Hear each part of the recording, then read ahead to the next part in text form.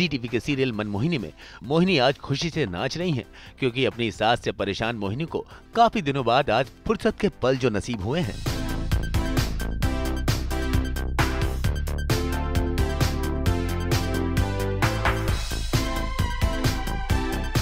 दूसरी तरफ़ अनन्या और शिव अपनी शादीशुदा ज़िंदगी को एंजॉय कर रहे हैं।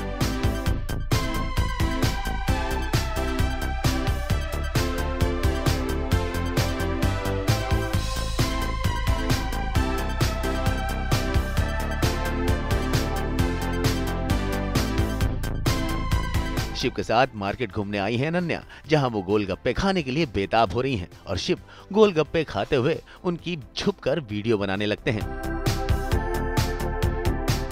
इसके बाद अनन्या चूड़ियों की दुकान में चूड़ियाँ खरीदने लगती हैं और शिव उन चूड़ियों के पैसे देते हैं और इसी बहाने मियाँ बीवी को एक दूसरे के साथ वक्त बिताने का मौका मिलता है।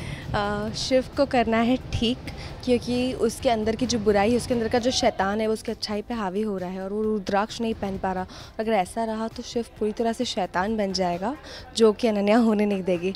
तो हम उसे सुबह सुबह सूरज के उगने से पहले, क्योंकि सूरज के उगते ही उसका उसका शरीर जलने लगेगा और उसकी वो प्रॉब्लम जो कल मैंने देखी, इतना जल रहा था, इतना तड़प रहा था, हमने इतने सारे सीन्स किए थे उस प्रॉब्लम से रिलेटेड तो दोबारा वो प्रॉब्लम नहीं होने देंगे। इसलिए सुबह सुबह से लेकर चले हैं, उसके साथ अच्छाइयाँ करवा रहे हैं, उससे अच्छे कर्म करवा रहे हैं ताकि उसकी अच्छाई हावी हो उसकी बुराई पे।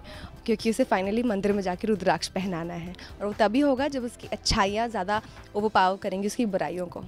हाँ क्योंकि अब, क्योंकि रुद्राक्ष पहना दिया है शिव को और हम दोनों के बीच में एक इतनी टेंशन्स के बाद थोड़ा सा हल्का एक मूड आया है हमारा। हम थोड़े रिलैक्स्ड हैं। तो जब रिलैक्स्ड हैं और खुश भी हैं, पापा ने भी प्यार को अपना लिया हमारी हमारी शादी को और बहुत ही अच्छा लग रहा है। तो बस इंजॉय कर रहे हैं मार्केट में घूम रहे हैं, कुल्फियाँ खा रहे हैं, चूड़ियाँ खरीद रहे हैं मेरी आँखों से आँसू आ गए थे, इतना तीखा था, गोलगप्पे का पानी लाइक लिटरली मैंने रियल में वो इतना तीखा तीखा खाया है।